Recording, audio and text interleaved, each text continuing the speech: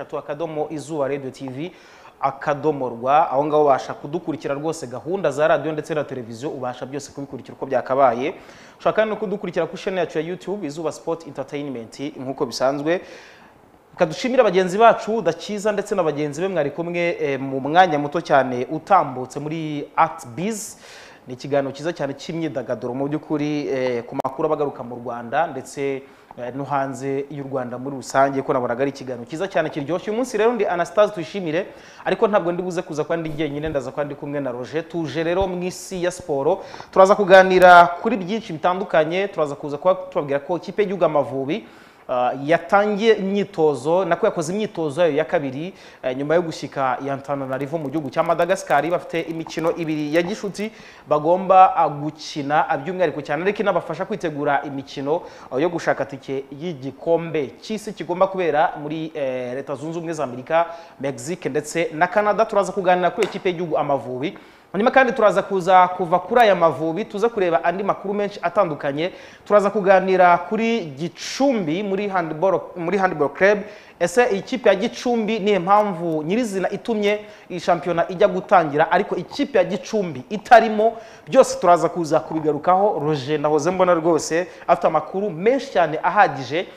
Kuri iki kintu turaza kuza kuba tukigarukaho. Ni skandali navuga yuko ikomeye cyane ku ikipe ya gicumbi ndetse no muri handball. Ibi byose turaza kuza gufata umwanya tuze kubigaruka. Nyuma turaza no kujya ku mugabane w'i burayi. I burayi naho turaza kureba amakuru menshi agiye atandukanye ariko turaza kugana ku ngingo ya dani alaves. Uyu mugabo kera kabaye ashobora kuba agiye kuva mu gihome. Ese ubundi alaves yaziraga iki? Hanyuma se ubundi naramuka agarutse bwo biri buze kuza kumufasha iki mu bijyanye by'umwihariko cyane n'ahura na siporo cyangwa se n'ibindi bitari siporo. Urebye ni byo turi buze kuganiraho n'ibindi byinshi tutarondoye eh, by'umwihariko cyane muri iki kiganiro cya none. Ariko muri buze kuza kukigiramo uruhare ndetse n'ibitekerezo Eh, muraduha ibitekerezo byanyu kuri zeru karindwi icyenda cumi na kane mirongo itatu mirongo itanu na kane rimwe.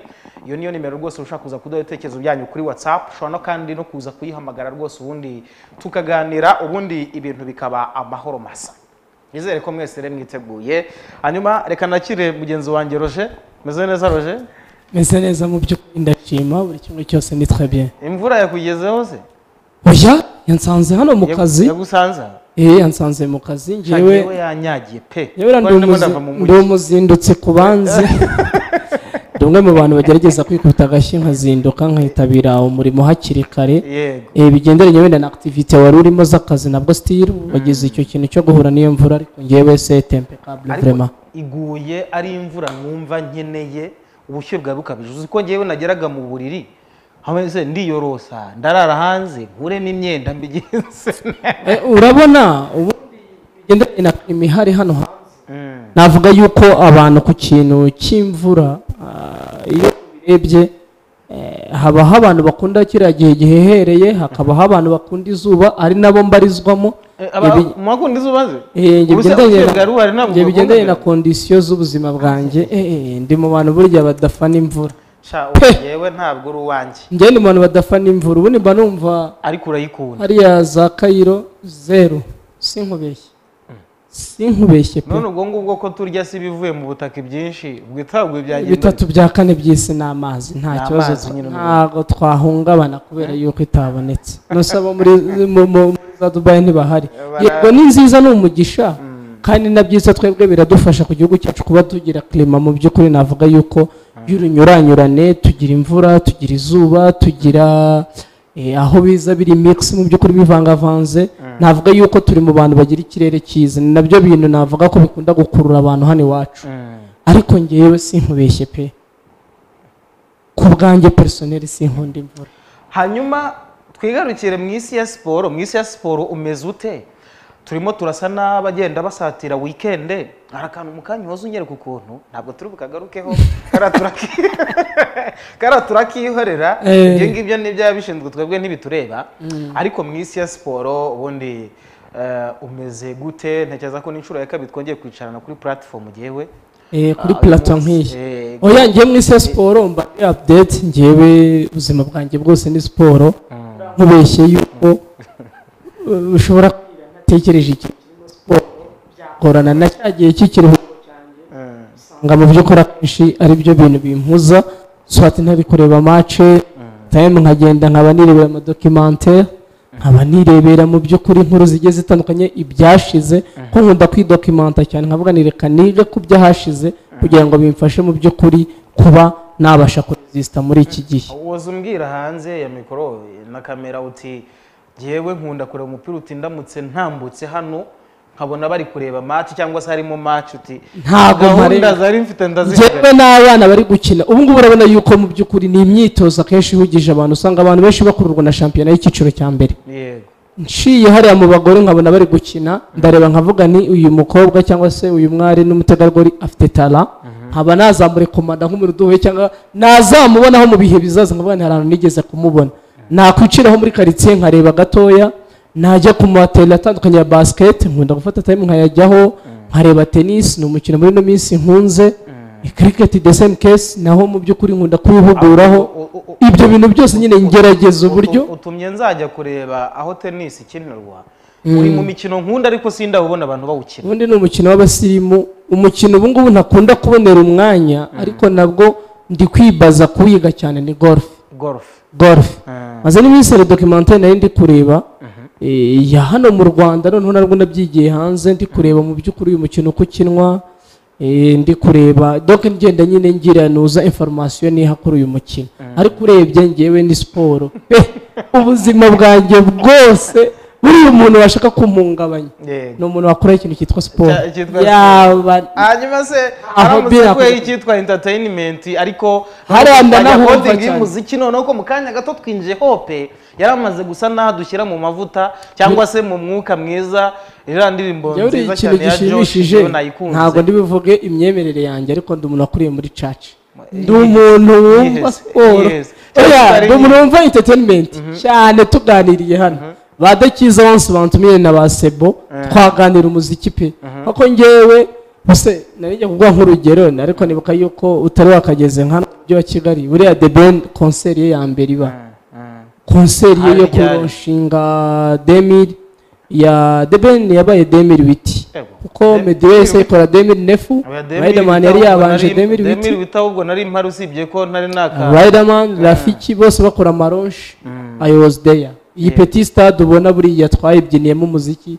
Za fesipade narazitabiriye nitabiriye. Stade yabereyemo byinshi igiterane cya rwanda shima. Imana rwanda shima imana urwo bagitwaza bakigitangiza. Eh, ndakizi nzi. Wese uzi expo ibera hano muri stade? Yego. Hariya muri parikingi yego. Ehe. Ah. Eh, nitabiriye.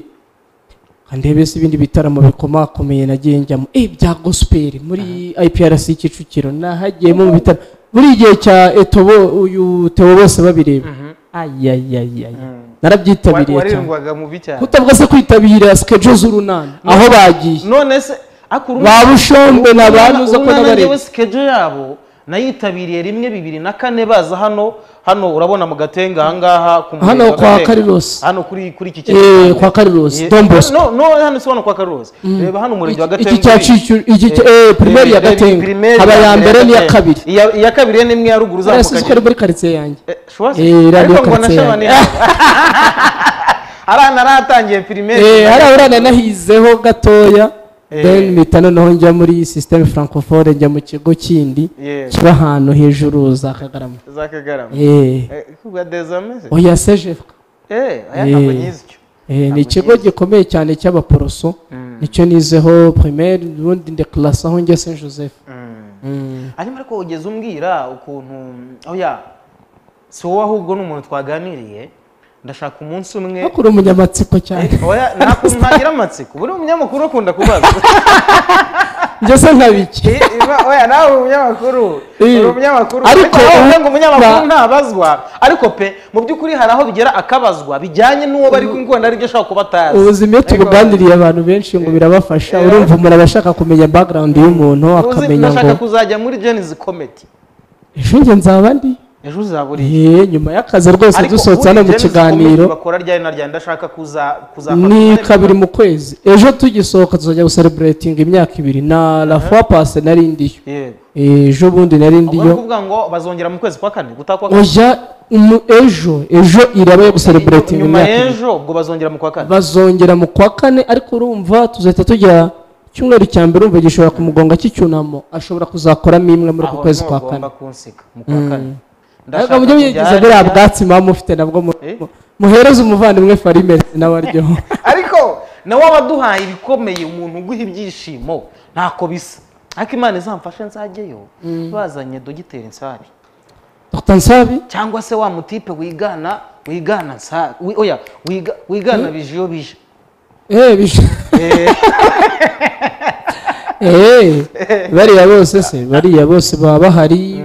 Hari amaperformance y'abantu bakomeye cyane meza y'abana ba monde hari si hazaba hari hazaba hari eh, uyu musore waturutse hanze hariya mu gihugu cya uganda navuga ko yuko ku munsi w'ejo bizaba biryoshye azaba afite eh, aba bana bandi bagiye batangirana sitiri nawe azaba ahari navuga ko ejo mu gusereburatinga imyaka ibiri y'iyi nuza bizaba biryoshye. Y'iyi jenisi komedi abakomediye bose reka gihe mbasuhuze kubera ko bari mu bantu bajya bamfasha cyane. Mu by'ukuri ushobora kuvuga muti ese kuki baje kutubwira amakuru ya siporo ariko bakajya muri mu bindi? Byose ni entertainment ariko noneho buriya ya buriya siporo hazamo kwidagadura. hari ikintu abantu bajya bibeshya. Eh, tuba tugomba twebwe muri build up y'ikiganiro muri intro tuba tugomba kuganira. Mm, Eh, mu by'ukuri ubwo twinjira neza mu kiganiro tukaba dufite yeah. iyi attention navuga ko idufasha kugira ngo abantu mu by'ukuri baze kwidatwuva neza uko tubikora. Mm. so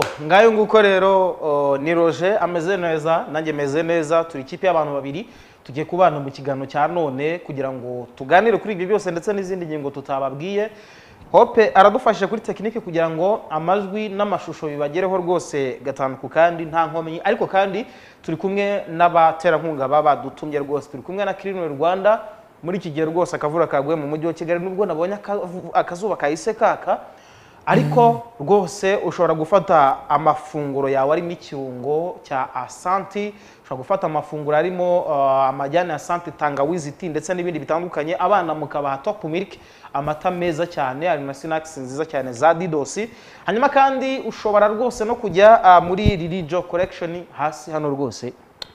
Hano rwose turaturanye. umuturanyi wacu mwiza ni we ugerageza kutwitaho mu myambarire akagerageza kudufasha ku buryo tuba dusa neza bakabona Sun Sports hano ku Izuba TV Yeah. dukeye mu by'ukuri. Mm. so ngaho rero reka tubanze dutumike mu buryo bucurangitse. Tuze kugaruka mu kanya amakuru tuyarambura uko yakabaye. Eh, reka mu kanya tuze mu by'ukuri tubatumikire. Tuba turi hano kugira ngo Mm, navuga yuko abantu ariko nk'iyo wibagiwe ikirungo asante mucuzi mix. Eh, Mchuzi Mix, ah yeah. hari ahantu nawe rwose buriya nawe. iyo wibagiwe ikirungo nka asante mucuzi mix ukibagirwa nk'amata meza ya top milk. Ukibagirwa se na juice yo mu gakombe ko didozi ntibuke gasa na juice di. Abafatanyabikorwa bacu mu by'ukuri bashobora kugira ngo twabarengeje ingoyi ariko navuga Mm, navuga yuko iyo mu by'ukuri umuntu afashe kariya kaji eh, akagasoma byibura karafasha epi ukaza mu by'ukuri ku mata meza eh, ya top milk navuga ko ari amata mu by'ukuri muri iki kinyejana. Umuntu utagerageza kuyafata ngo asomeho yahereza umwana muri ibi bihe by'ishuri. Abana bari bari mu bizamini. Si ubu ujya umenya iby'amashuri. By'amashuri se? Eh. Nta muntu mukiziranye ukiga. mbikurikira gake. Barahari. Ntabwo Eh, eh, benshi none se ni gute?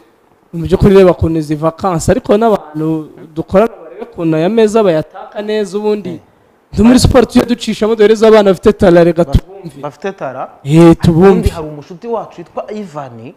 W'imusanze twigeze kumuha randevu umwaka ushize ariko ntibyamukundira.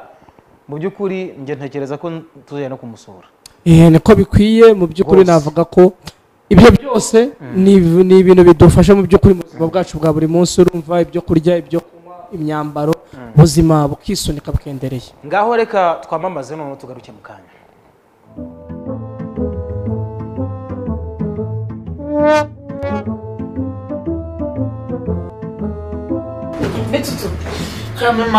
Ndakubaza amatara arimo hano ari hehe Amata. Ah, ubwo bebe ni we wayanyweye ta. bebe yanyweye kandi yarasutse Bebe ko nabonye nawe aseka yafungura firigo. Ndakubwiza ukuri pe. Yanyweye ku majereka nyine nkiri umwana. muganga yamutegetse kunkura ku mata ati uyu mwana mu mata yamutera ikibazo kumva icyo gihe niba nkubeshye mfize isaha nta mata nigeze nkoza mu kanwa igihe wahereye uburana ntabwo ari amata yitwa gute yitwa top milk. Ariko rero si ngombwa kuyiba Ih, yafungura uyanywa none we top milk ni amata y'inka yuje ubuziranenge akaba abereye abakuru n'abatoya aboneka muri supamaketi no muri butike zose mu gihugu.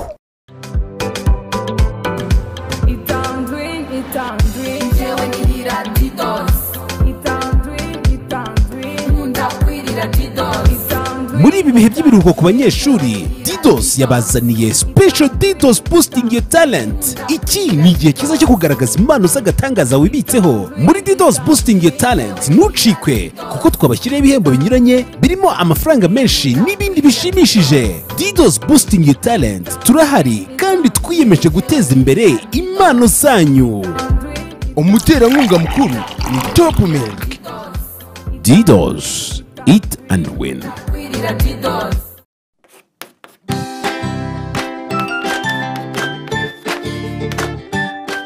Abasho. Mwambwira agakoresho bakoresha iyo bapima ubushyuhe bw'umuntu urwaye.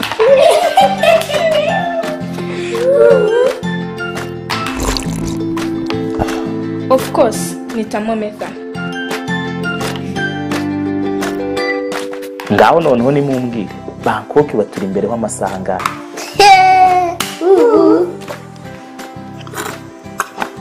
Avuga iti imbere y'amasaha atanu hani uri gukoresha abana homwa no kubaha igikoma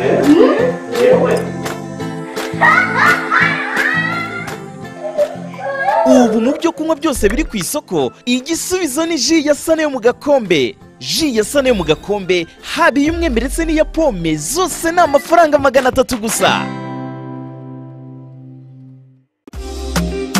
Nitwa anita pendo umushyushyarugambokazi benshi mumbaza imbaraga nkoresha aho nzikura ntabwo nkwisembuye oya. Ariko nkoresha amajyani asanti tangawizi. Ayo ni amajyani arimo tangawizi akabamo n'umucyayicyayi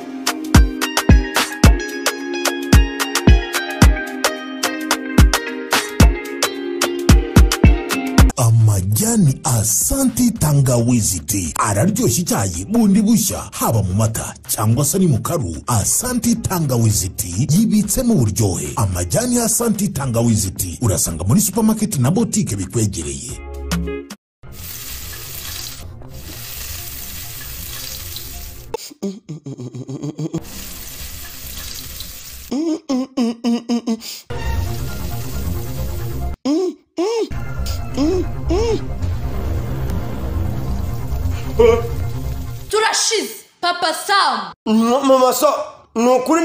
nawe uru rubanza rwagutsinda si wowe watekesheje iki kirungo cya sante? Ni ukuri rwose mujye mwihanganira abantu. Ikirungo asante wowe ugiye guteka inyama ibishyimbo imboga ipilawu n'ibindi biryo byose ugiye guteka ntihaburemo ikirungo asante kuko uburyohe bwo ni Mm. abifuza kukigura muragisanga mu mabutike atandukanye. Ikirungo asante ni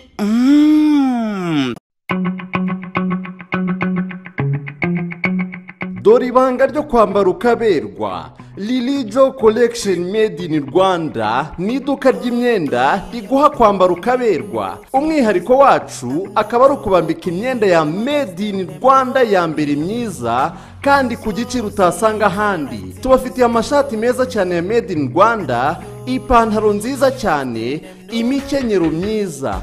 Imyenda y'abadamu iherekejwe n'imirimbo y'amoko atandukanye. Tubafitiye amakoti ya kositime ndetse n'indi myenda wakwifuza turayigukorera umwihariko wacu ni uko dufite ateriye ikorerwamo imyenda yose waba wifuza ikavamo ijya mu iduka aho uyisanga ikeye. Ku buryo uhita uyambara. Tubafitiye n'abakozi b'abanyamwuga mu kubambika neza kandi bakabagezaho imyambaro aho mwaba muri hose mu gihugu. Dukorera kigali remera mu gisimenti hafi na bahamasi ku bindi bisobanuro mwaduhamagara kuri izi nimero za telefoni zikurikira. Zeru karindwi umunani mirongo itatu na gatatu mirongo itandatu na kabiri magana abiri mirongo icyenda na kabiri.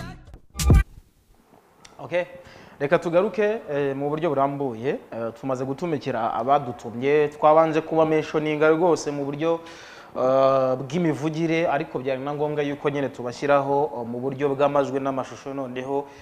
Ibyabo tukabitangaza mu buryo bw'inyumva nkumve n'imbona nkubone of course Ni mu by'ukuri biba bikenewe yuko eh, tubwira abanyarwanda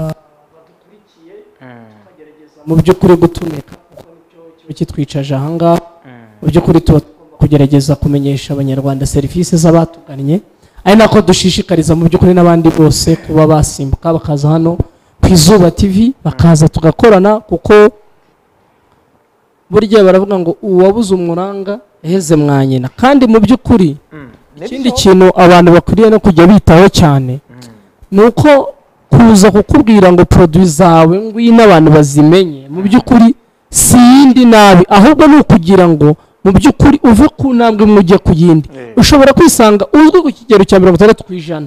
Ubwo ukabara yuko wagezeyo. Noya siko biri.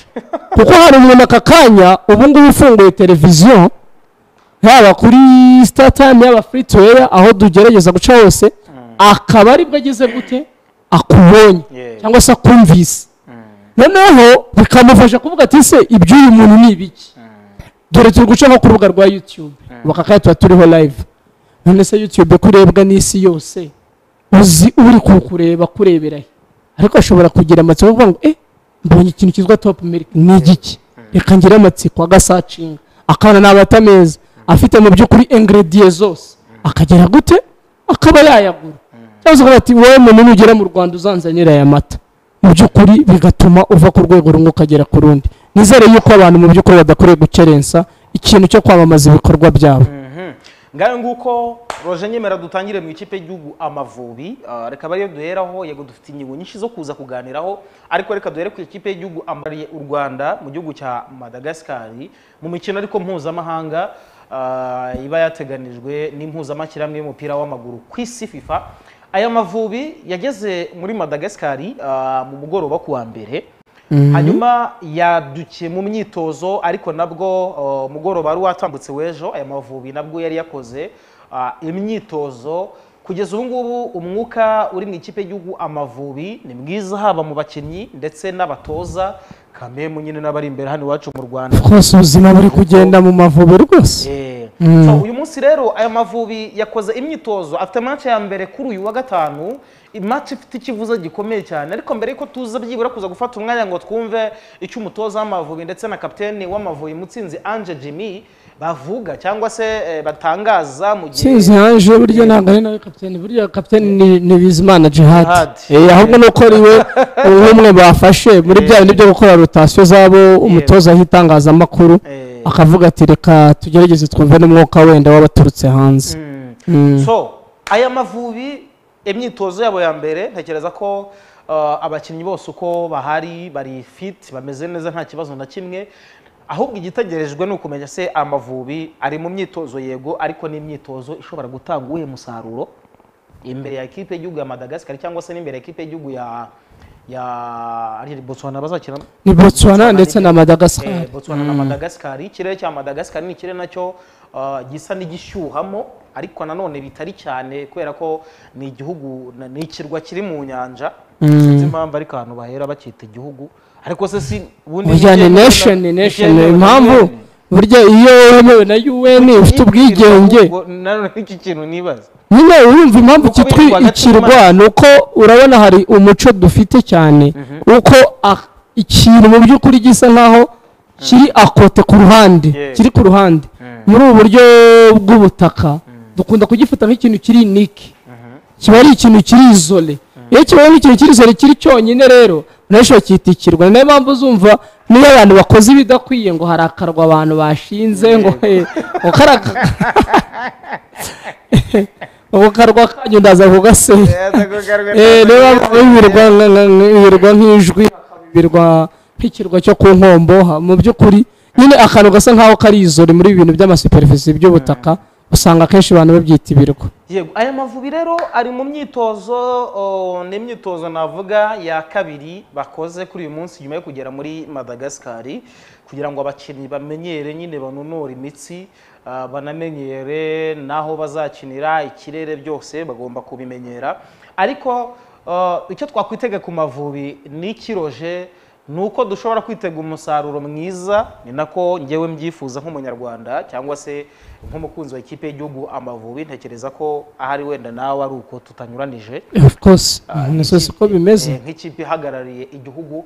Uyu munsi umutoza w'ikipe y'igihugu amavubi ah, iyi ni imikino yagakwiye kuba abona mu- ishusho imeze ite nk'umutoza uzi neza ko afite urugamba rutamworoheye muri iyi mpeshyi? Eh, mu by'ukuri eh, ubivuze neza. Nk'uko ubanje kubigarukaho ati mu by'ukuri umutoza yakabaye ari imikino imuha iyihe shusho. Mbere na mbere navuga yuko njye nzakomeza mbisubiremo ikintu cya mbere dukwiriye gushima ni uko iyi mikino noneho yongeye kubaho. Imikino ya gishuti navuga ko ikipe nasiyonari ni imikino yakunze kuba mu by'ukuri iyibura. Ni imikino yakunze kuba iyibura. Ugasanga cya gihe abantu begisipekitinga yuko byibura ikipe nasiyonari yakabaye ikora ka peti kampu bagahura mu by'ukuri tukaba twabona imikino ku basore bacu ndetse no mu by'ukuri n'ikintu cya metirizasiyo bakabasha kumenyerana bakanaba bagira mu by'ukuri icyo nakwita koheziyo mu mikinire. Ntabwo twagiye tubibona. Epi ukaza ku kintu cyo kuvuga ngo iyo imikino nk'iyi ngiyi ibonye burya ni etide nziza yo kuvuga ngo uyu mukinnyi ntahereza shanse uyu mukinnyi mu by'ukuri mbona uri ufite porogiresiyo nziza. Ni gute namwentegara ibyo bintu nabikorane. Ubikora mu mikino ukora mu mikino ya kompetisiyo kuko hari nivo ushobora gusanga atarageraho. Ugasanga icyagihe umwahaye umwanya wenda muri nivo ya muri kompetisiyo runaka. Umwangishije umupira cyangwa umwangishije abantu. Ibyo abantu bagiye babibona twari tugira abakinnyi nka ba rushenguzi minega si babi. Si babi aba bagahugahu nubwo bo ntabemera rwose ari ibibazo abandi baherutse kuzanwa cyagiye turi muri za maroke ariko hari igihe tuduhiza umukinnyi bigeneye na nivo ya kompetisiyo ugasanga ntabwo ahise abasha kwiyadaputa icyo gihe rero bizabyara iki? Bizabyara ko twebwe tuzajija dukurikije performance twabonye. Noneho twebwe nta mwanya tuzamuha kumwihanganira. Sibyo? Maze nidukora iyo jijoma tugenda tuvuga tuti wa mukinnyi nta kigenda ntabwo abashije. Mu by'ukuri bigenderanye n'uko igihe yazaniwe si cyo cyari igihe. Uzakunda kubibona mu ma ekipe hano iwacu tuvuga yuko abakinnyi bakora imburagihe. Umukinnyi arapafominga umwaka umwe. Muri ape muri musanze. Agapafominga umwaka umwe muri marine. Agahita yisanga mu ma ekipe ari elite. Agahita yisanga mu ki? Muri aperi muri rayon siporo muri kiyovu muri esido kigali muri mukura. Ayo ni ama ekipe mu by'ukuri manini. Ugasanga yose ari kumurwanira. Bigenderanye n'iki? Bigenderanye n'uko dufite ubukene bw'abakinnyi mu by'ukuri tunafite ubukene mu by'ukuri mu kuzamura muri akaderema ari cyo kizatuma ubashije kuzamura umutwe wese turakurura. Abana dupezanye ababashije batware. Ibi byo rero bigaragaza iki? Bigaragaza yuko muri andurura zose tuba dufitemo wikinesi ariko nkanga ku mutozo wa ekipe nasiyonari ashobora kuvuga ati reka nintegere tuyisenga arisene ashobora gutangira kuvuga ati e ese kuki muhawe nawe gadi ntamuhereza umwanya? Wayi noti uyu munyezamu wawe niyo senjeri waza tutabonye tutamuha umwanya. Ese ko mpamvu wenda amaze igihe akina? Dore yakoze n'urugendo runini. Reka mpereze kirisitiye umwanya reka mpereze umwanya gitega atwire nawe akine. Reka mpereze umwanya. Wenda patinashipu ya kerema mushyireho. Wenda swati manzitsi yari mbona ariho bya pafominga neza kuko ntuzamubona nk'umuntu. Anje buriya mubona nk'umukinnyi nawe sitiri umuntu uza ukina eh, nk'umukinnyi uganya diweri ari wowe ugomba gukina nka nimero 4 wenda tugiye mu by'ukuri mu buryo defense za kera zahagararaga kuko ubu ngubu defense isigaye ari arinye umwe afata kote droite undi agafata kote gauche. Ntabwo bikiri bya bindi ngo uramuhagararaho imbere gato. Kwa kundi twigaga umupira. Ubu ngubu noneho ni uguhagarara arinye umwe agahengamira ibumoso undi agahengamira urumva mba mbona mu by'ukuri kwa clement wenda na manzi diwe yaba yakunda paraporo ya ange na clement ariko na byo ushobora kubyeze- kubyegzesa bikaba byakunda. Niyo mpamvu bavuga ni muri izi mashi ukaba wahereza tuyisenga arsene wahereje mu by'ukuri iyo vole yo turavoringa akagenda. Akaba nawe yagira gute? Yabasha kugutaho icyanga cya ekipe nasiyonari aba bahajya ukabahereza iminota. Niho imikino nk'iyi ngiyi ni kiba imaze kwegzesayizinga ibyo udasanzwe mu by'ukuri ukora. Cya gihe cya nivo rero cya kompetisiyo iri elite ni ho uvuga ati uyu yarahiye namucishije mu bihe byose pa naze mu by'ukuri noneho mufitiye konfiyanse yego aya mavubi uh, twabigarutseho ejo bundi uh, twabigarutseho ejo bundi afite akazi katayoroheye muri iyi mpeshyi mu mukino wo gushaka tike y'igikombe cy'isi kigomba kubera muri leta zunze ubumwe za amerika canada ndetse yewe na mexique. Ni na yo mpamvu rero iyi mikino mpuzamahanga muri twe dusanzwe tumenyereye yuko u rwanda rukina imikino nk'iyi ngiyi ya gishuti iri international. Ni gake cyane. ya hano hafi mu karere. Na na yo ariko byagoranye. Eh, na na yo gatatu- byagoranye. Twashoboraga ubundi buriya dushobora gukubita umwaka muri ekipe nasiyonari nta match ya gishuti dufite. Kandi hataza na match ya kompetisiyo umwaka ukaba warangira batanahuye. Dusa naho rero icyo kintu navuga ngo muri ekipe y'igihugu amavubi dusa n'abakirenze. Twatangiye gutera iyo ntambwe ahubwo dusabe bigumeho. Dusabe bigumeho. bigume hari igihe byigeze kugera abakunzi b'amavubi gutse. Uyu abantu bibagirwa ekipe nasiyonari Eh, kubera icyo ubundi twebwe tutajya gukina n'ayo ma ekipe y'ibihugu nka za maroke dusohoke tugende. dubayi nk'uko andi ma ekipe A- ajya abikora. tube twatereta niba wenda nka masedoni iri bukinire mu bufaransa dusimbuke natwe tugereyo. Uganda hari igihe bigeze gukora kampu muri aziya niba nibuka neza. Uganda tanzania kimwe mu bihugu ariko ni uganda. muri ibi- muri iyi oya bagande Eh? bari bari muri Egypte bari kwitegura kujya muri Afcon. Ariko nka nuza nka. Oya ahubwo ni nuza ni abarundi. Abarundi eh abarundi. Uyu munsi iyo tugiye kureba tugarutse mu bijyanye na gdp uburundi se turi hejuru? No. Ntabwo turi hejuru. No, what? twaba nation ni ikintu kinini nation ni ikintu kinini. Eh. ntabwo twaba dutanga support wenda mu by'umutekano ngo usange ikipe nationale yacu niyo umupira wacu dutwara umupira wacu usanga ari byo bwa- ikibazo byagorana? Oya, ni ya nuza mu by'ukuri ni kwa kwita ni kwa kutita ku bintu. Mbese niba ikipe nationale ishobora guhaguruka. Bamwe bari guterana agapira bavuga bati oya Eh. dore minisiteri niragura amata abandi bati ni federasiyo abandi bati ni ukumva mu by'ukuri ni ibintu bidafututse. Ukumva ngo eh, tuvuge wenda nko gusa neza kwa ekipe nationale. Tuba tuti birabazwa nde? Bajya muri federasiyo ngo bana ngo ni minisiteri ifite ekipe nationale. Minisiteri wayegera ngo natwe twabihaye federasiyo ngo niyo ishinzwe ibintu nk'ibi ngibi. Si ibi bintu koko bizagereraho ba- bizarangira uku kwitana ba mwana ntago mu by'ukuri ubona ko ari umuntu ufite kwatumaga, ufite ahubwo kuracyanatuma kuko ubu nta kintu kidasanzwe twe twabona muri ekipe nationale. Ntabwo turabona umuntu ufite devoir ufite izi nshingano za ekipe nationale. Wenda ushobora kuvuga tuti uko twitsama. Abantu bashinzwe ekipe nationale bashobora kuvuga bati baricaye. Ahubwo se ntibashobora kuba Baraje. bakora neza inshingano zabo oya uburyo bariho ntabwo ntabwo mbwemera. Usanga ari umuntu ufite izindi nshingano ariko ngo agere ngo na ekipe nationale azishinzwe. Ngo ashinzwe mu by'ukuri eh, tuvuge wenda ashinzwe development muri minisiteri ngo akanagiramo ngo ama ekipe y'ibihugu akakubwira ati mfite basket yampaye mfite volley yampamagaye mfite handball yampamagaye mfite tennis mfite cyclisme mfite ati abo bose bandiye imbere ati ibintu mwe murabona nabishobora gute ugasanga muri departoma ye ni umuntu umwe. Ariko ugasanga byibura agize nk'abajwe batanu byibura bareba ama ekipe nationale ubundi habura- en general byafashe. Ubundi habura iki uyu munsi u rwanda ko rufite abarejande benshi? Baciye muri ekipe y'igihugu amavubi. Rimwe tujya tubona jimmy murisa yaje arakubise ariko ubundi ejo bundi avuyemo. Ko dufite abakinnyi benshi bakinnye muri ekipe nationale. Abenshi banajyanye n'amavubi mu gikombe cya afurika Mm. cya bibiri na kane. Ko bahari habura iki kugira ngo abo bantu bahabwe umwanya? Ntekereza ko bafite ibitekerezo byagutse kandi n'icyitwa umupira uyu munsi cyangwa se n'icyitwa gutegura ekipe y'igihugu uyu munsi bakaba babizi. Dufate urugero. Uyu munsi dufite kayiranga batiste umwe mu bapapa nemera yuko bagira ijisho ryo kugerageza kubona Nshimiyimana. wenda nyakwigendera ntagwabira Jean Marie we yaragiye. Ariko si uyu munsi abo dufite banditse izina rikomeye mu ikipe y'igihugu Amavubi. Bari hehe? Bahabwa uwo mwanya? Mperuka bahazi ikintu cya asosiyasiyo yabo ariko ubona ko ari mu cyuka. Ushobora kubona bo barahuye n'ibigerageza ahari wenda baragerageje gukomanga bakabona ntibikunda. Ariko hari umwe mu barejande duherukanye nzamwegera mubaze. Tumaze iminsi tubonana kabisa. Umuntu azamuteraho yumve kandi ni umwe mu bantu batarya indimi bagerageza kuvugisha ukuri mu by'ukuri bari ponctuel. Ariko kuri icyo kintu uvuze ngo wenda nk'abarejande bacu bagiye he babarizwa hehe barahari. Niyo uranababona sometimes hari abahuzwa umupira bakubwira bati mu by'ukuri ikintu cya disrespect mu by'ukuri kuza tugasuzugurwa byatumye twebwe tugerageza kujya ku ruhande ukabona hari n'abandi mu by'ukuri urukundo rwanga rugashima bakaza. Icyo wagerageje mu by'ukuri gushaka wenda hari nk'uwo mwahuye ukamwaka kontakite z'undi araziguha. Ati runaka yibereye i huye runaka yigiriye wenda muri ibi ngibi ari i musanze runaka wenda ari muri belgique ari muri german. Ariko icyo kintu uba ukomojeho cyo kuvuga ngo abari hehe? Wenda kugira ngo baze tubone baparitisipa mu mirimo. Ntabwo wenda uwakinnye umupira wese azaza ngo awujyemo. Ashobora no kugira vi personeri wenda kumva ashaka kwiruhukira ashyize ku ruhande umupira. Ariko dore ikintu mba mvuga. Si itegeko y'uko uzana abawubayemo hari n'abandi babizi babyize wenda.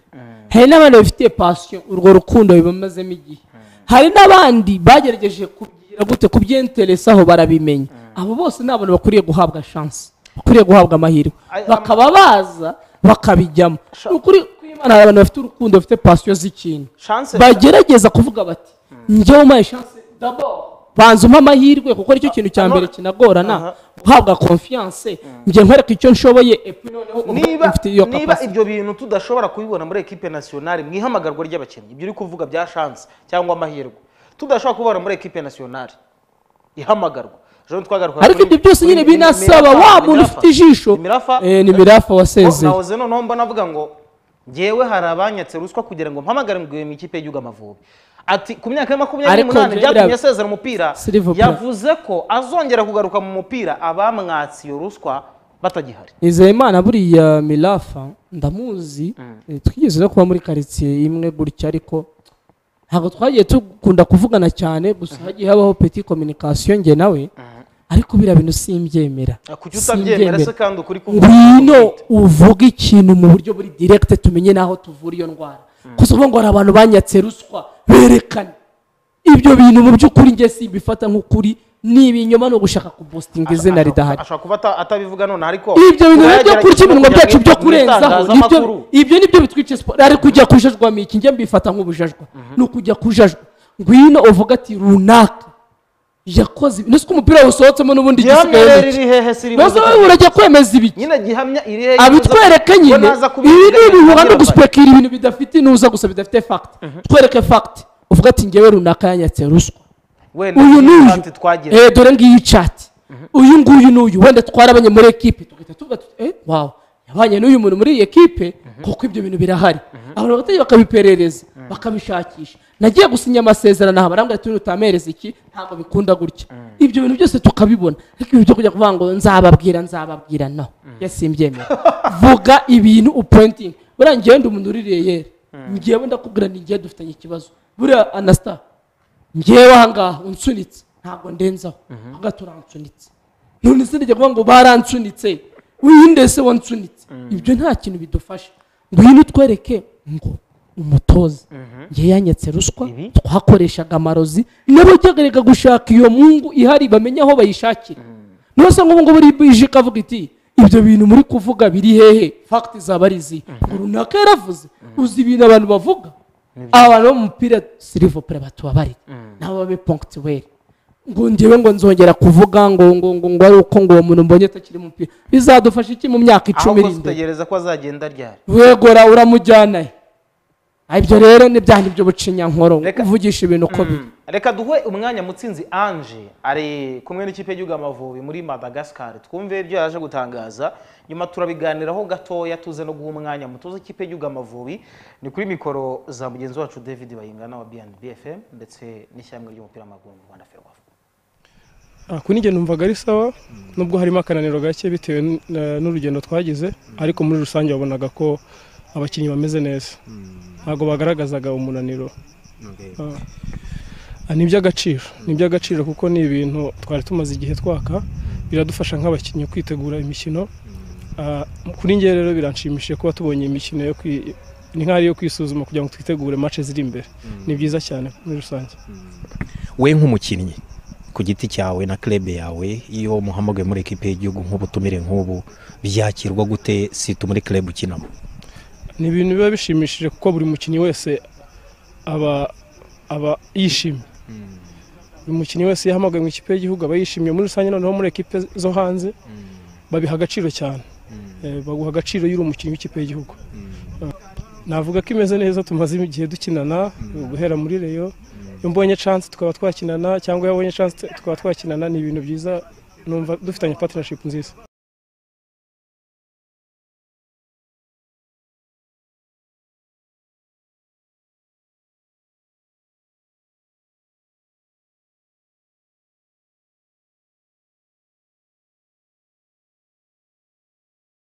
Okay, the first group uh, is already already in good shape.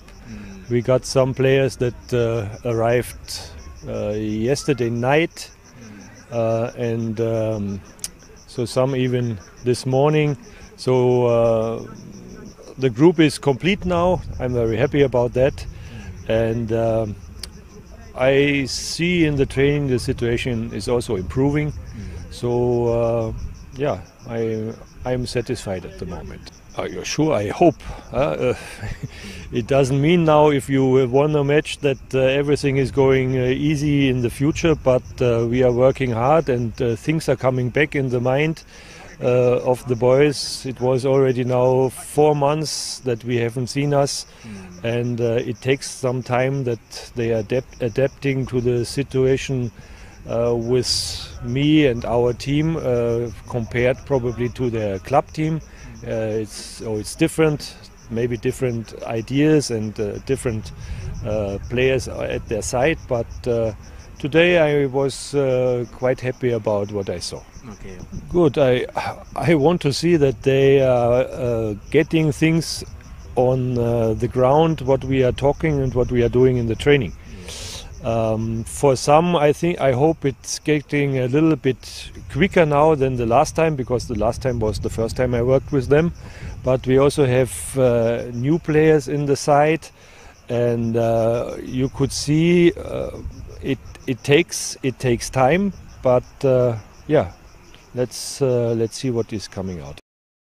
Ni mutsinzi ange jimmy ndetse n'umutoza w'ikipe y'igihugu amavubi. Mu by'ukuri ange icyo yavugaga ni ikinyarwanda ariko umutoza w'ikipe y'igihugu amavubi turagenekereza gushyira mu kinyarwanda. Yavuze ko ari urugendo rurerure yego bakoze bava mu rwanda bajya muri madagascar.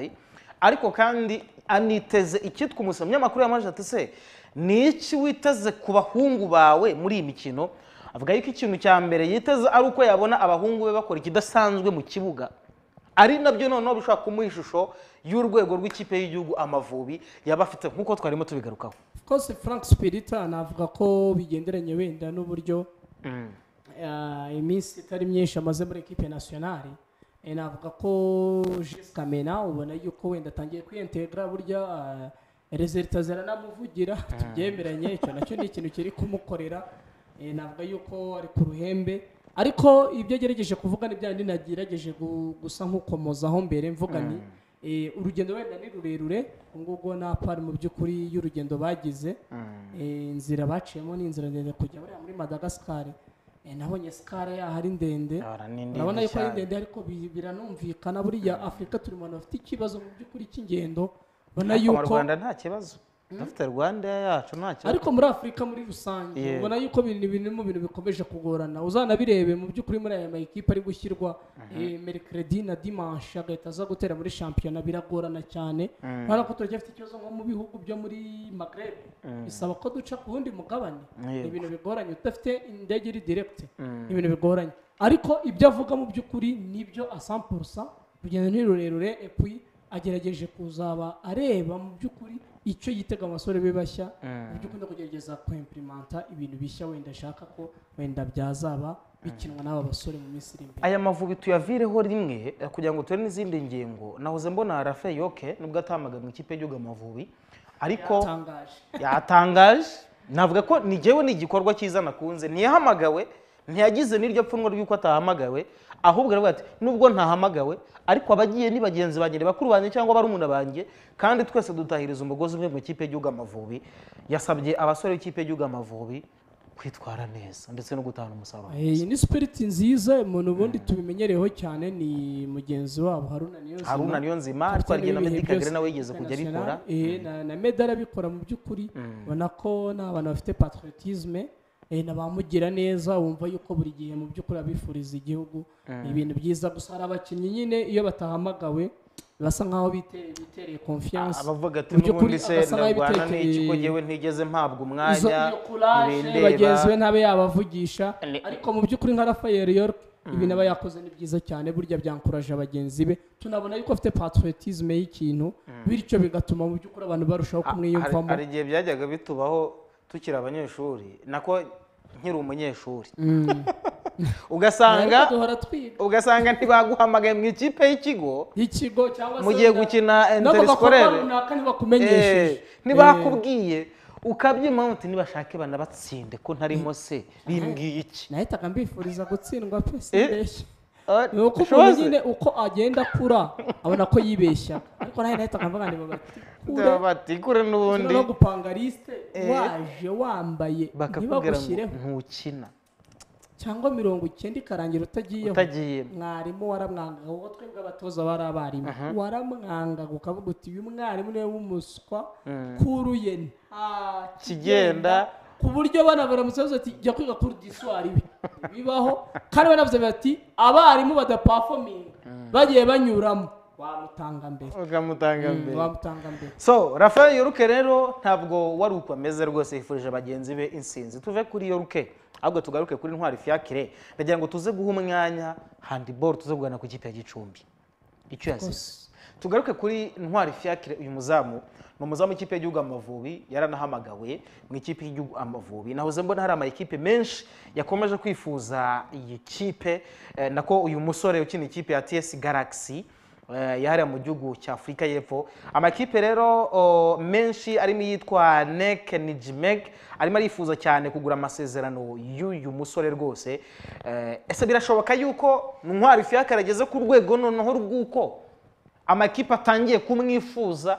Yifuza no kugura amasezerano ye atararangira. Uyu muzamu yarabigaragaje muri tesi galaxy mu minsi ishize eh, apangura amapenaliti ntekereza ko kiri mu bintu byamugize umuzamu navuga udasanzwe hano muri afurika y'epfo ariko noneho washyiraho no kora pe mu ikipe y'igihugu amavubi kora pe mu ikipe y'igihugu amavubi buriya ntekereza ko amakipe menshi menshi yo hanze iyo yumvise ko hari umukinnyi wayo uhamagaye muri ekipe nasiyonari y'igihugu cye atangira kwikomanga ku gatuza avuga ati uyu mukinnyi dufite ntabwo twibeshye ntabwo- twaraje. None uyu munsi ni umuzamu tipike nimero ya mbere mu ikipe y'igihugu amavubi. Ese ntwari? gusa njye sindamuha umwanya mbabarire. Kubera icyo utamuha umwanya se? none umusimbura sindumva igituma kwizera olivier adahamagarwa. Yego hari ibintu byinshi nemeranya na kwizera olivier. Ariko- sinkubeshye. Ariko itarita twakabaye dutakaza. Uyu munsi igihe ntiwambaza amakuru ya kwizera olivier ngo nyakubwire ntayo nzi yewe mu by'ukuri njyewe nibaza. Ariko ntwari ni umuzamu mwiza jyewe nemera nanjye ntacyo nshidikanya. None se birakwiye yuko birakwiye yuko si uyu munsi noneho njyewe uvuze ko ari umuzamu wa mbere. Ndahanisha uwa mbere. Hari ahari kuri njye? Kuri njye? Subiremo neza. Kuko rwose simbeshye mbona ko atari cyo gihe cyo gutakaza simpakana ko gishweka ari umuzamu mwiza ariko ibijyanye ibijyanye na matirite ye mu mutwe cyangwa se mu mitekerereze. niko nyine kantu twese ariko tudutaho. gendeba twakabaye tureba kote iri pozitifu kurusha uko tureba negativite. Ariko mu- tukareba mu by'ukuri ikintu cya mu- mu muco wa muntu. muri kamere muntu. Ni hehe muri kamere muntu ni hehe wabonye? Roje uyu munsi akora ikintu cyiza ejo agasubira ikintu cyiza undi munsi wakurikira roje yatana nita kuri cya cyiza roje yakoraga cyangwa nita kuri cya kibi roje yakoraga yego hano njyewe natangiye kugira impungenge Mm. ariko z'ibyishimo z'uko kwizera olivier yahindutse Mm. ngo si impungenge ahubwo navuga yuko se ni igisubizo Mm.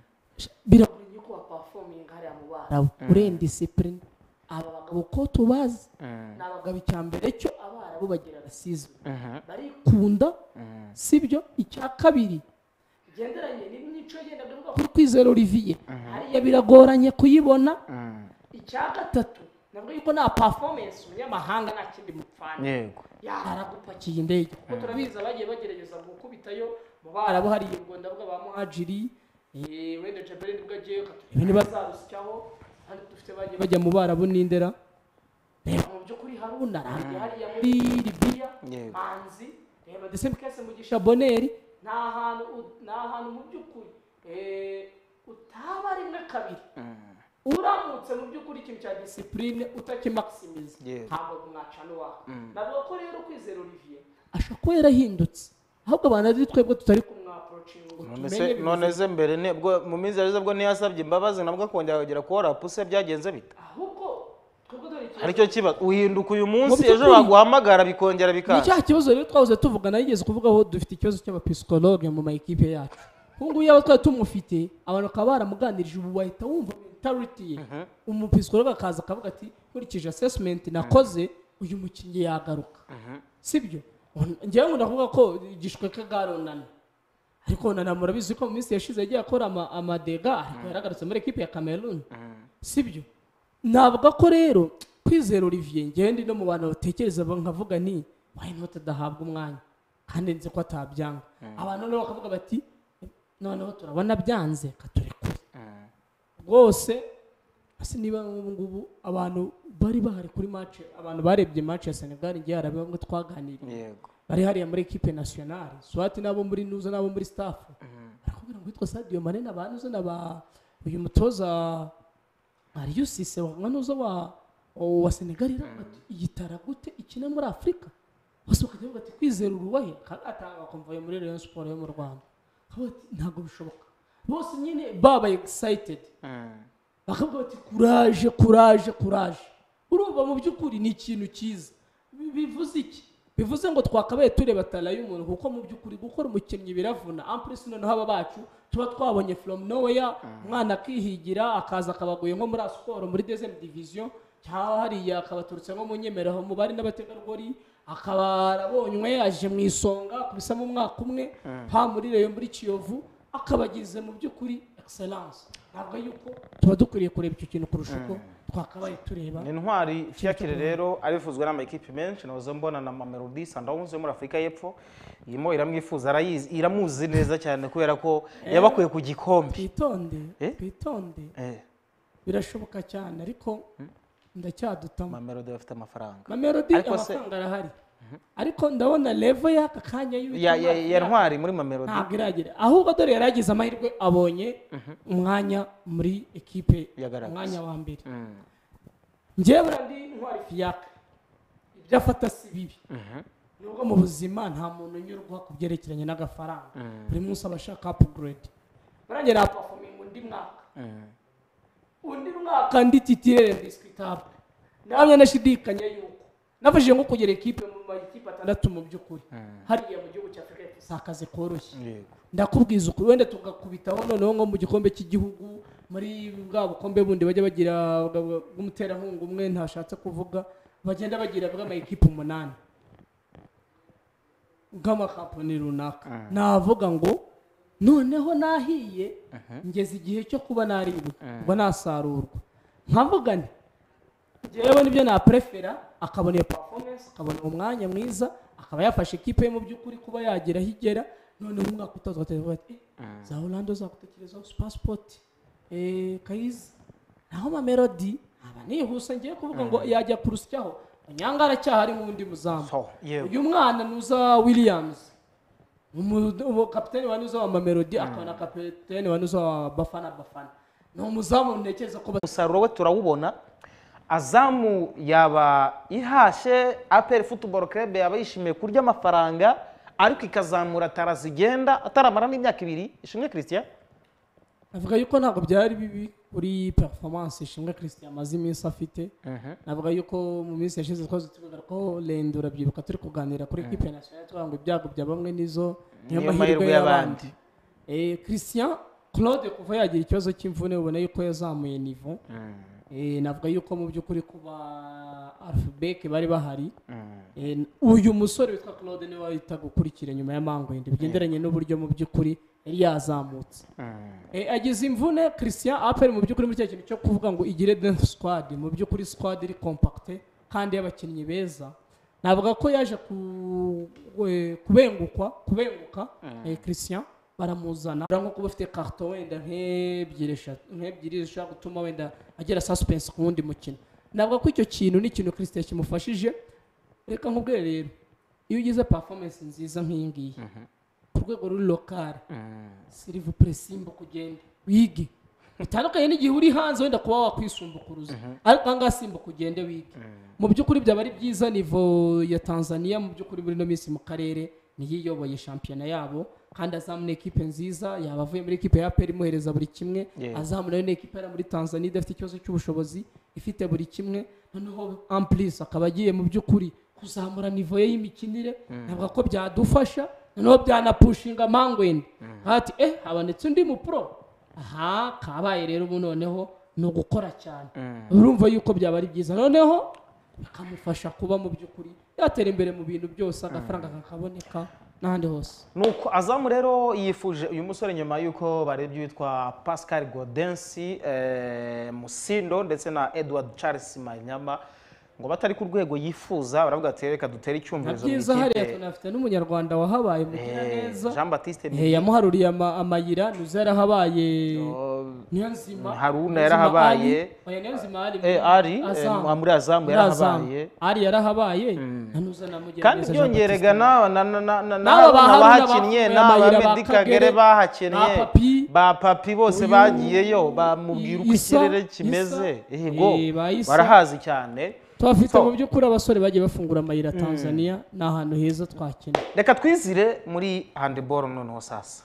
Handiboro kera kabaye ikipe ya gicumbi ntabwo igomba kwitabira shampiyona ya handiboro bashobora kuza wenda badukurikiye kuza kuyibona muri afishi cyangwa se kuri fictures ariko nti- ntiri bukine. Ntabwo igomba gutangira iyi shampiyona.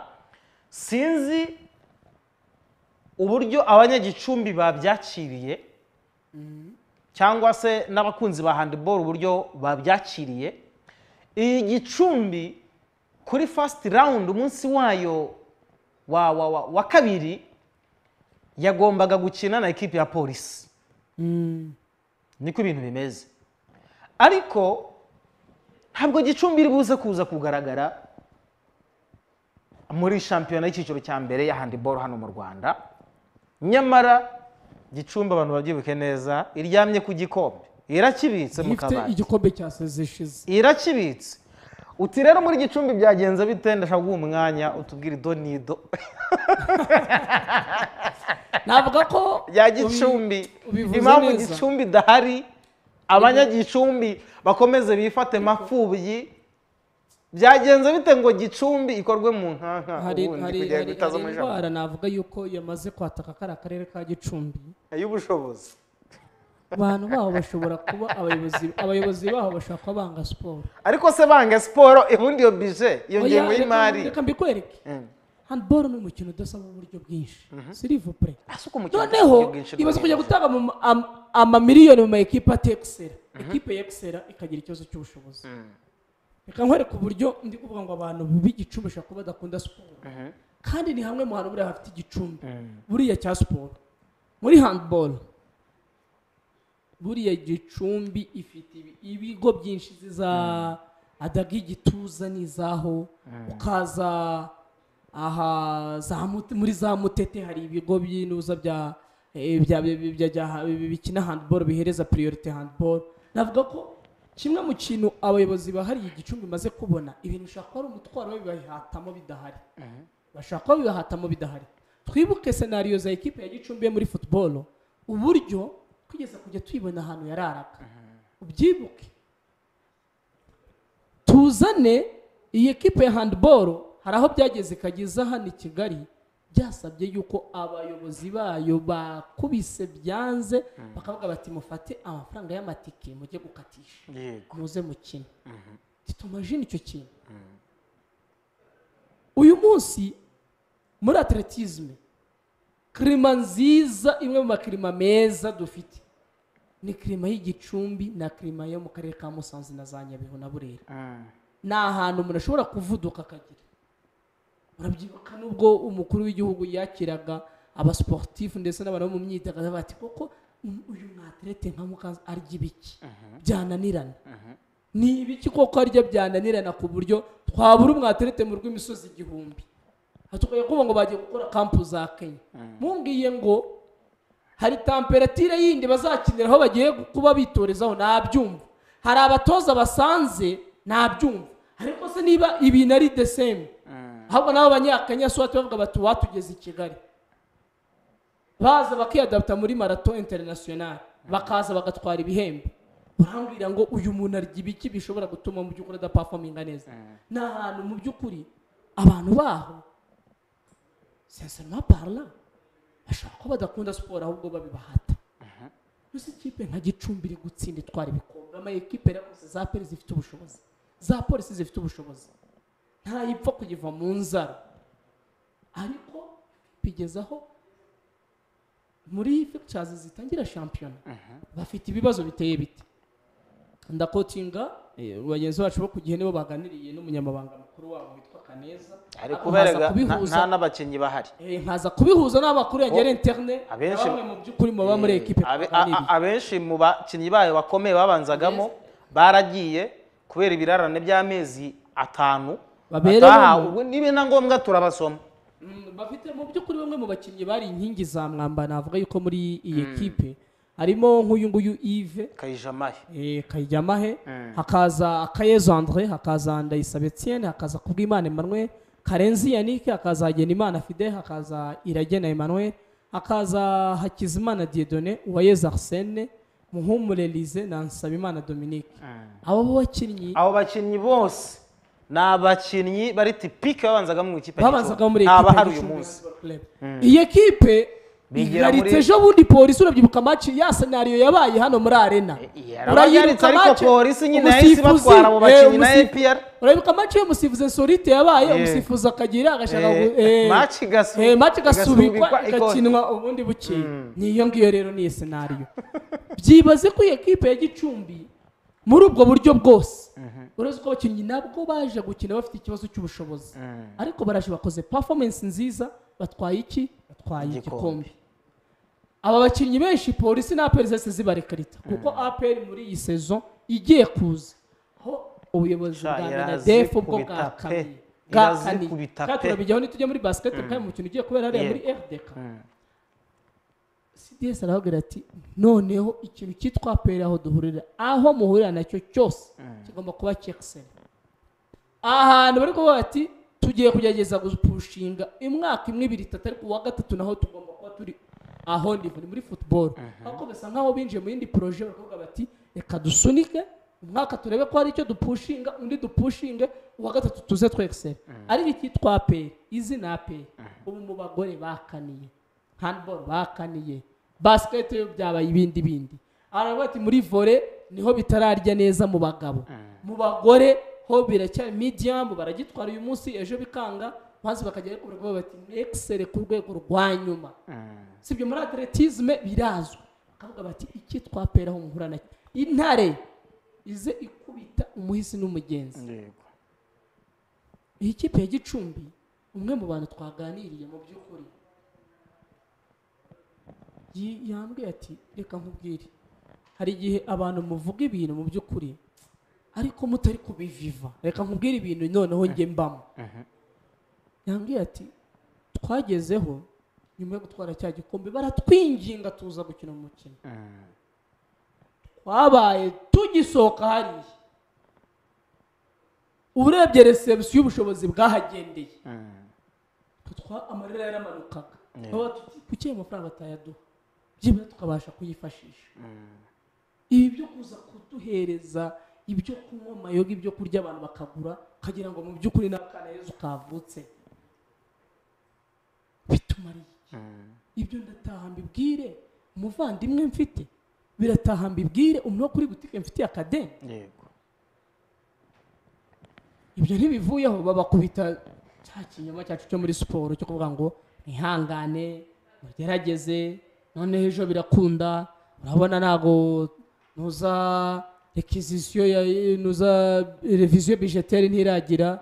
Umuntu udeboroka amafaranga noneho tuzahita tubikora. Dosiye twazihagejeje. Abantu barasunika barasunika barasunika. Hari abakinnyi bamwe muri ayo makipe bagiye bibwira ubuyobozi bati turagenda nimutagira icyo mukora. Ubuyobozi ati mwihangane. Abakinnyi bamwe barihangana. Harimo abasinyiye amasezerano ejo bundi. Kandi proposal barazihawe imbere bakavuga ati ekipe igiye no gusohoka yazagira shansi zo gusohoka. Ahubwo ubu ngubu ndabona ko itazasohoka. None se izasohoka byagenda yaba witeze?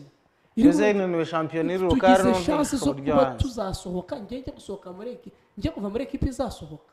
Gusa ubwo ntaba ndi mu biki. Ekipe nasiyonari urabyibuka ejo bundi muri ya mikino yari iri kubera hariya muri egypte je pense ni ho bari bari. Bari mu bantu bagerageje gupafominga neza. Ariko bakavuga bati bigendanye ahubwo na kondisiyo twari turimo iyo tuba twaragize umwiherero before twitegura neza twari bukore ibirushijeho. Nicyo kintu muri gicumbi. Umukinnyi ngewe yageze aho arambwira ati reka ne kubeshya yego. Ubuzima njye buranze nafashe inzira yo kugenda. Niba tugeze ahantu mu by'ukuri ushobora guhamagara umuyobozi akaba yakoze inote y'igihumbi. Si ubwo koko. N'amayinite ntakiyagura igihumbi. Gusa ubwo byamfasha iki? Ariko akandi kanabura ka- abantu batazi ko ari muri iyi ekipe ya gicumbi handball club. Ubuyobozi buriyamo hagati ntibwumvikana. Bafite ngo muri bodi umuyobozi wumva ibintu ubwo bo baramuzi. Bakanagira umwe mu bayobozi bakeka ngo ko basopanyiriza ngo kuko akenshi ibyo baganiriye bumva we aza ari aza ahinyuza. Atandukanye na byo. ahinyuza ahinyuza. Niba bavuze ngo turakora rokare vanderedi ariko rokare ni iyiki ntabwo abantu banabyuka mu gitondo bakagenda. Bakavuga ati se uyu muntu arashaka intsinzi nk'uko tubona twebwe dushyize hamwe tuyishaka. Kumva ngo umukinnyi wenda yahembwa ibihumbi magana abiri we ntaba abyumva muri handball. Bakinnyi bamwe ndetse n'ababa muri staff bakavuga bati nyamara uyu muntu ashobora kuba afite izindi entere adukuramo kuko iyo ibintu bigiye gukunda cyangwa se tubona hari inzira nziza birimo wowe wumva burya ari kontre wumva ari kontre hakabamo n'akandi kantu kamaze no kuba nakita mu by'ukuri hariya mu karere ka gicumbi. Umwe mu bayobozi muri babiri badeboroka amafaranga bafite icyitwa sinyatire. Ikintu cyitwa siporo utagikunda ntabwo agikunda. Futuboro rwose dosiye zabo arazinaga. Izinuzi z'iyi ekipe y'abari n'abategarugori aranaga ifite ubushobozi bumwe ikura muri gicumbi eh, inyemera iza muri handball club aranaga.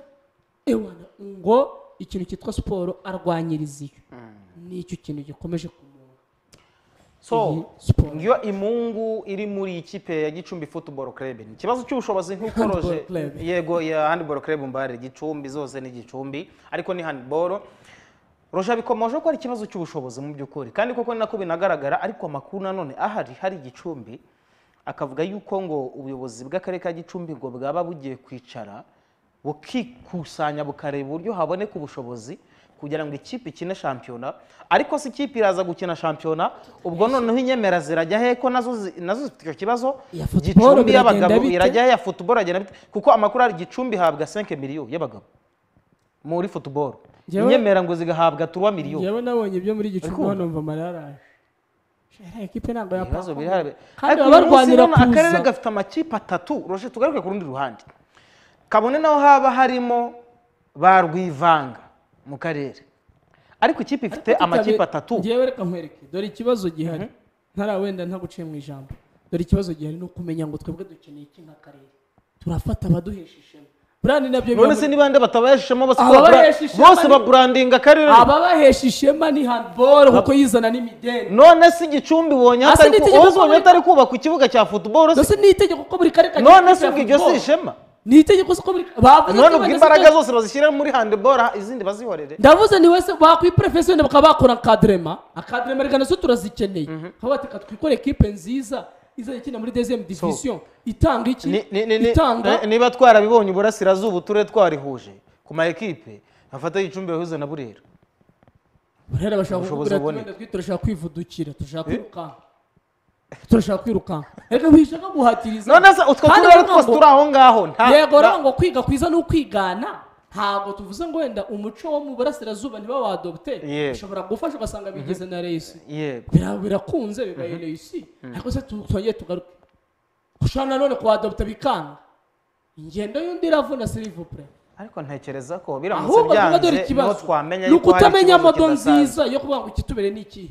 Buriya bashobora nko kuvuga umuyobozi bundi w'akarere ushinzwe siporo nka buriya bamaze iki? Ushobora kwicara. No buri mu murenge uzi ko abamo yego arahari ushinzwe siporo ushinzwe umuco ushinzwe urubyiruko ushinzwe eh, ubuhinzi ariko ariko bose abo bantu barahari. twaba turimo turavuga si bo- bishyura si bo eh, bishyura barahembwa. Buriya uyu nguyu ashobora kwicara akavuga ati federasiyo muze hano. Mwadukoreye modo nziza y'akarere kacu. Ni Mhm. federasiyo akayegera akayikomangama ntawamwangira agategura ikintu gisa nk'iki wenda nka kampu ati muze hano. Murebe akarere kacu dore gateye gatya dufite ibigo by'amashuri bimeze bitya. Kuko twese tuvuga yuko siporo ishingiye ku ki? Kuri edikasiyo mu mashuri. Bakavuga bati twebwe dufite izi za degigi tuza twashyiramo imbaraga tugakora mu by'ukuri wenda ugasanga hariya havana nuza nziza havana na akademi nziza ya handball hava akademi nziza y'abari n'abategarugori. Futuboro wenda ugasanga hava abakiri bato beza ariko wenda batakwekisera ku rwego rwo hejuru. Bakavuga bati wayi natwe twebwe tudashobora gukora abekisera tukabatanga mu mujyi wa kigali bakaza mu makademi nk'aya kiyovu kuko nimwe mu yagera ama ekipe nziza tugakorana wenda na na viziyo tugakorana wenda na esperance tugakorana na dax ya juvenali yaje tugakorana n'intare za tukavuga tuti buri mwaka twebwe. Tubaha abakinnyi beza bacu bapafominze neza babiri. Murabitwemereye dukoreye moyu mukura. Muri junior yanyu tuba tubaha babiri none bekisera mu bazamure espoir komsa komsa ibyo bintu byose birashoboka. Ukiga ikintu cyiza cyagufasha. Ahubwo abayobozi ni ukugenda bakicara bakadamarara ubundi haze venoma bakaza bagahabwa amamisiyo bakabona amafaranga. Ubu ngubu turi muri iyi mikino y'iki ya kagame? Y'imirenge kagame kapu ubu ngubu bose bahagurutse. Kubera ko wenda harimo akamisiyo aragenda ku- kurefitinga umurenge kurefitinga ku karere atera intambwe mu- mu- mu murenge umwe. Yiyanditse kominikasiyo yiyanditse taransiporo yiyanditse. Rojoma swati ishobora no kwiyandika. Hariya ba ya nkambi harya iracyahari inkambi? Eh. inkambi ya nkambi b'igicumbi igicumbi. Eh. irahari se? ugashaka abana bakina neza irahari se? muri gicumbi haba inkambi. Ariko iracyarimo se? Ubwo maheruka ejo muri Tour du Rwanda ntabwo ntabwo Eh. okay Mm. wenda umuntu Sinzi yaza niba konserita ikirimo. akabaza. Abo bose ukagenda uvuga ati ni wayi note tutabaza? Ahubwo ushobora gusanga harimo na talent. Nazo twagira gute? Twaba twatalentinga tukazihereza umwanya. Mm. ibyo byose abantu bakabyiga. Ngibyo kuri gicumbi ariko roshe nyemera gato dufate ingingo ku ikipe y'igihugu y'abari n'abategarugori. Nayo rwose iri mu mikino ya all african. Birumvikana cyane tuyivireho icyarimwe kugira ngo tuze no gucunguza uburyo umwe tudusigira bagenzi bacu umwanya bategura amakuru. Imikino iri kubera uh, mu gihugu cya ghana yakara muri ghana. Aba bashiki bacu mu by'ukuri navuga yuko barimo baritwara neza. Ah, baratsinda imikino rwose ko ubu ngubu bageze eh, igeze muri kimwe cya kane cy'imikino nyafurika rero ikomeje kubera hariya iyakara mu gihugu cya Ghana. Aba bashiki bacu rero navuga ko nyuma yo gutsinda Algeria amanota cumi n'atatu kuri cumi n'abiri umukino navuga ko wari ukomeye cyane. Eh, muri i- basket ya 3 to 3 naho turi eh, kugerageza tugerageza tukexera intego bafite ngo ni ugutahana kino gikombe eh bigendanye na performance kuko abenshi ni abakinnyi navuga ko bakina muri premier division hano Mm. iwacu eh ubona yuko eh wenda ba- banyujijwemo na repubulika na demokarasi ya congo Mm. niyo yabatsinze rdc Mm.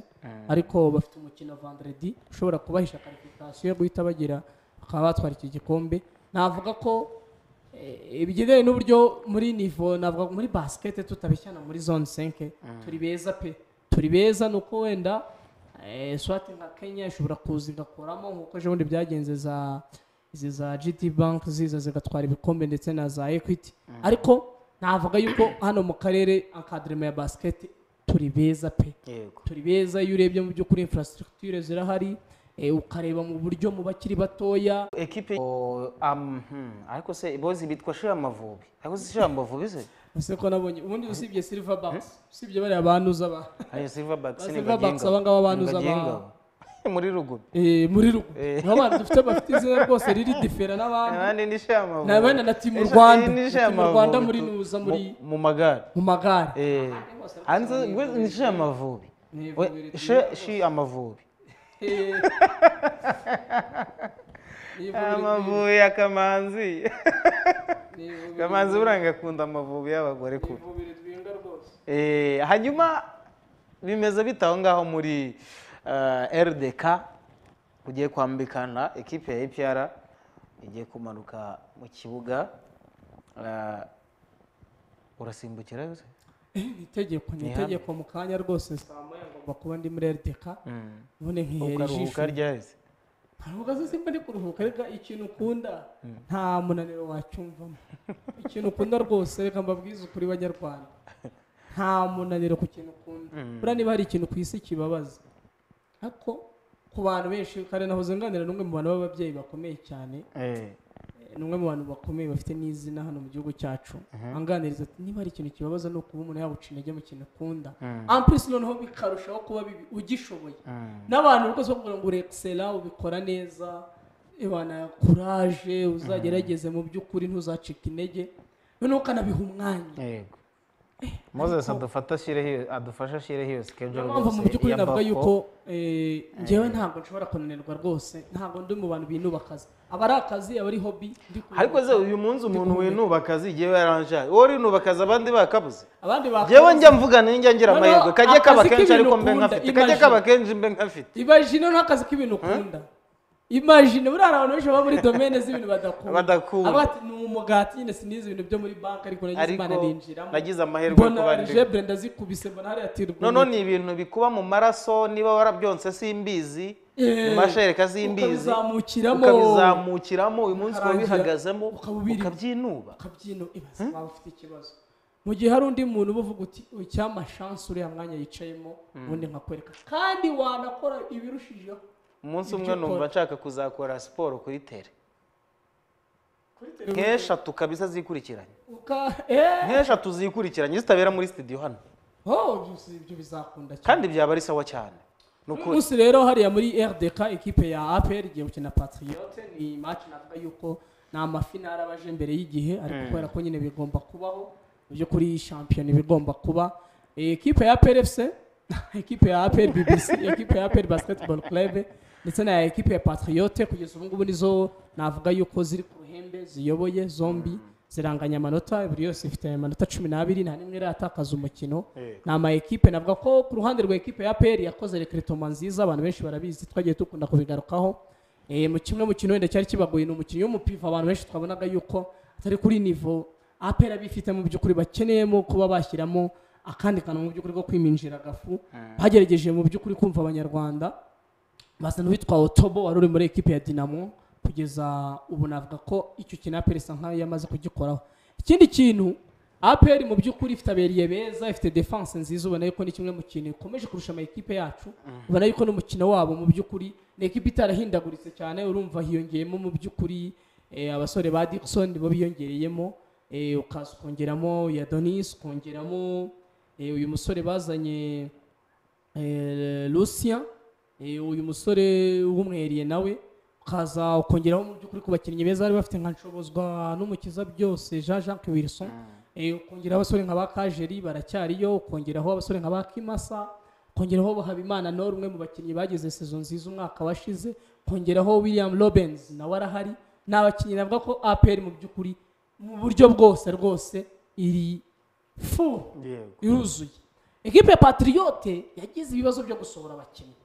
Aravuga ati karabaye ariko ekipe niba ari ekipe imaze kubona mu rwanda ku cyitwa rekiritoma ijisho rya basiketi ni ekipe ya patriote. Ni abapatriote pe. Ni abanyamujyi ubona yuko bafite ijisho rwose rikubita rikaza. Niba rirebera mu yihe mboni? Nk'ubu ngubu namaze kugira amakuru y'uko iyi ekipe ifite abandi bakinnyi babiri batatu. Yamaze kuba izana. Ariko itaratangaza. Ivuga iti twebwe ibyatubayeho sezishize turabizi. Uburyo twatakaje umusore nka Dickson? Turabizi. Ubu rero this season tugomba gukora akantu. Mu by'ukuri kimwe mu kintu cyagiye kibabaza kutajya muri bare ikintu cyitwa kutajya muri bare mu by'ukuri byarabakomerekeje cyane. Ariko bari sinzi ukuntu biyandayanda hamwe n'umutoza mwiza bafite Henry Mwenuka bariyandayanze ubona yuko mu by'ukuri bagerageje kugerageza. Ama ekipe rwose bari kuyatsinda mu buryo bw'excella urabona yuko rwose bari kuri nivo nziza. Ubwo rero abantu nabashishikariza yuko abantu banabibonye ateka amatike yari yashize hariya kuri cotside handi hasi. Dimi senke miri hahandi hose mu by'ukuri hose aranturu y'ikibuga cyose kuri www.ticket.rwa ni ho washoboraga kugura itike yawe. Kandi nabwo bari bageze kuri 60 pense ko mu by'ukuri ubu ngubu bishobora kuba amatike yashize.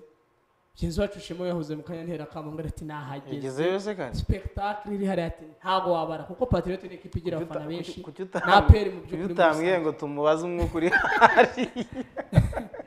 Eh, navuga yuko mu by'ukuri ni umukino mwiza abantu bakwiye kujya kwihera ijisho. Ubwo rero natwe mu kanya nyuma yo kuza kuba akabyizi hari aho tukageze turasimbukirayo hariya muri rdk yego reka dusoreze kuri dani aravesi kuko igihe twagenewe cyo cyarangiye inkuru ya aravesi ntabwo tuyitindaho cyane nk'umunota umwe. Aravesi yari ari mu gihome eh, hafi igihe kigera ku mwaka wose. Uyu mugabo arazwi cyane akinye mu ikipe ya fc barcelona hafi imikino magana ane yose. Ariko uyu mugabo eh, agomba kuva muri fc barcelona. Nako agomba amakuru ahari avuga yuko agomba gusohoka mu gihome rwose akagaruka mu buzima busanzwe. Akaba atanze rero ingwate ya miliyoni imwe y'amayero. Arasabwa ingwate imwe y'amayero Ya- miliyoni imwe y'amayero. Uyu musore bigenderanye n'ibibazo yagize Eh. urumva yaje guhamywa icyaha cy'uko yafashe ku ngufu nawe aza kubyemerera. Mm. yakuye na pafominze byibura igihe kingana na kimwe cya kane. Yari amaze muri gereza yaragikoze ipafominze pafominze ni ugukora. Yaragikoze ntabwo ko kuri uyu munsi rero haje gusohoka indi statement y'urukiko ivuga ko aramutse atanze miliyoni imwe y'amayero byaba Ya- ingwate akajya yitaba ibyangombwa bye bigafatirwa akajya yitaba. Ntabwo yanashidikanya yuko aramutse atanayafite mu by'ukuri abo babanye Ntabwo yayabura. Ntabwo yayabura bagerageza Alves. mu by'ukuri bagakomakoma. Bagakomaga we ntabwo yabaye n'umukinnyi mwiza muri barcelona. Oya, pe, ni- barisa rwose banamufasha. ndavuga ngo nyuma ya kafu nta nimero kabiri muri ino minsi rwose washimaho uyu musore. nta washimaho pe. Reka duhinire aha. Hari abantu babiri kuri telefone se mozi ngo ubaduhe. Mhm, moses ariko yakoreye mu ngata mushiki wacu hopedi mu by'ukuri ekipe tekinike yacu iba yagerageje gukora ibishoboka byose muri rusange yaba bari behind camera yaba ari kuri tekinike room abadirector abadirector hano rwose baba babikoze. Moses rero tumushimire cyane. Umwe mu bantu baba bagerageje kudirectinga ikiganiro neza. Na director ni we ukora byose team ekipe tekinike yose. Iba abantu batajya babona hano kuri mikoro ngo bagire ngo ni ibiro babyikoze bw'abantu mwe bo ba bosi bacu ni abatekinisiye mutagira ngo hari batagira ngo ni twebwe yego. Hanyuma niba ntaba hari uwitwa daniel hakizimana we yadusuje ati mwiriwe mutese tumeze neza nta kibazo. Hanyuma roger reka duhinire aha ngaha. Mu by'ukuri reka tujye kureba basikete turebe bimeze. twasunika Mm. wakoze cyane? Wakoze cyane nawe mu by'ukuri kuba twafatanyije iki kiganiro. N'abandi mwese rero mwadukurikiye mwakoze cyane. Mukomeze mugire umugoroba mwiza rwose. Mu kanya gatoya ni amakuru mu rurimi rw'ikinyarwanda ah, ku buryo burambuye. Amakuru muri buze kuza kuba mugezwaho na mireye tuyishimire ntekereza ko yamaze kuba rwose ibintu abitunganya neza. Reka tumusigire umwanya ubundi.